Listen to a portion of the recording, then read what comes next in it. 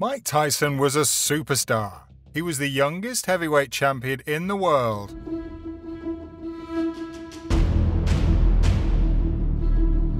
The richest athlete surpassing Michael Jordan in 1990, Iron Mike.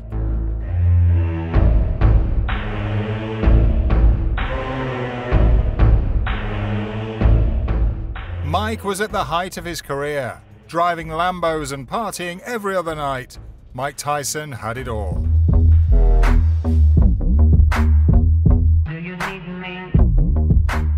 Until in 1992, when an 18 year old beauty queen, Desiree Washington, accused him of rape and got convicted and sentenced to 10 years in jail. Mike's sentence was cut by six years and he left prison in 1995. He left me completely jacked. Apparently, the three years he served in prison were the best years of his life. I had the best three years of my life in prison. I mean nothing when you don't have your peace. You need your sanity to, to dictate any part of life. God punish you by giving you everything you want. See if you can handle it. When Mike entered prison, he was 278 pounds. He trained so hard inside, lifting weights, doing calisthenics, and he even left his prison cell's floor indented due to intense training. I went for four hours just in my room, jumping a step like this, just jumping up. And my cell, right, is a concrete floor, right?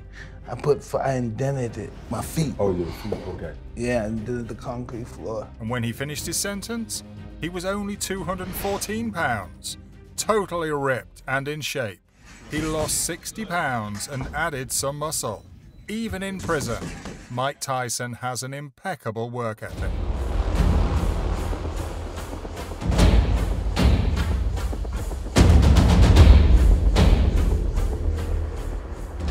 But this is only one of the numerous shocking prison stories of Iron Mike.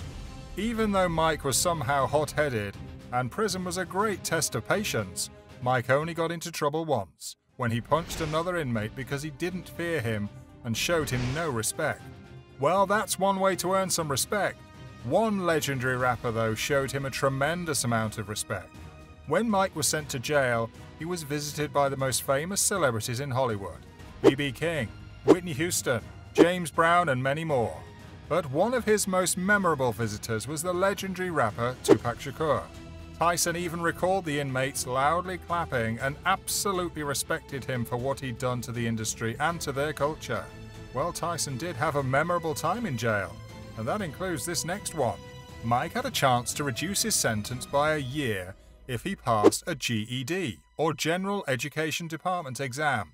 Mike has been desperate to pass, and what did he do? He dated one of the prison counselors and even had sex with her occasionally. He also gave her money and, as he described it, did nasty things with her. Eventually, Tyson's gamble paid off as the counselor made him pass the GED exam and reduced his sentence. And not just that, he revealed that he even got girlfriends in prison and got a girl pregnant. He revealed in an interview on Vlad TV that he was living the normal life in prison. He was respected as the champion Mike Tyson and got everything he wanted. He revealed getting a girl pregnant inside the prison. The, um, the council worker now, she's letting me have sex with her now, so I'm going good. And he said that it was just meant to be. He then added that his life in prison was the most safe and secure he'd ever felt in his life. What was one of the worst experiences you had in jail? Bad experiences? Oh, beautiful experiences. I felt very safe there. Mm. As he grew up on the bloody streets in Brooklyn and constantly got in trouble. But his fellow inmates weren't afraid to get into trouble either. News about Mike Tyson being sent to prison in Indiana spread like wildfire, and his avid supporters continued to try and meet Mike even in prison. Some were sending gifts and letters to him too, and these things gave Tyson's fellow inmates an ultimately insane idea imitate Tyson and cheat his supporters. This was after Tyson's fellow inmates sent letters to women to convince them to give cash and jewelry. He racked up money impersonating Tyson but got caught months later after one of the women visited the prison. What a clever but evil idea by that man.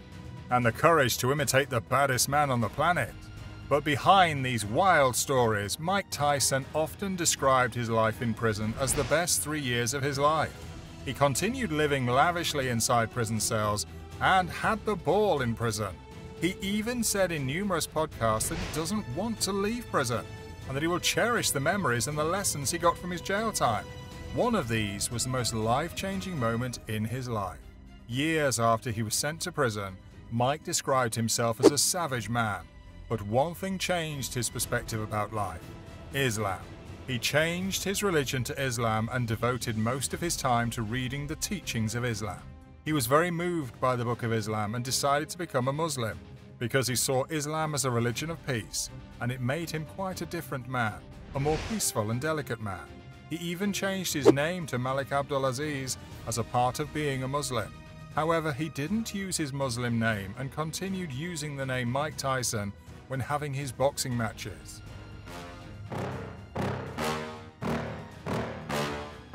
Yeah. Please tell me that I can't, that I won't, that I fail, that I'll never make it out, yeah. Mike used this newfound religion to motivate himself to be better and to be in shape at all I times. get off to the thought of proving everyone wrong. I won't stop to the top, so you better back off and get lost. I'ma stay loud, stay proud, never running out, never He wanted to prove his doubters wrong.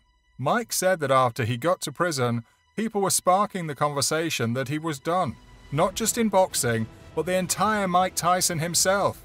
And when he got parole and got out of prison in 1995, he was raring to go and was very eager to touch the ring once again. It's showtime!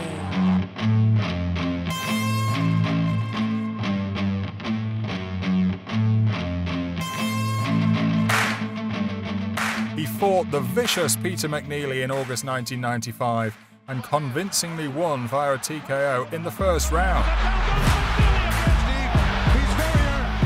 silencing all of his haters and doubters.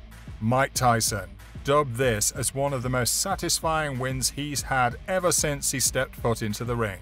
Mike's incredible time in prison made him not just a better fighter, but a better person. And he will always remember his prison time as the best three years of his life.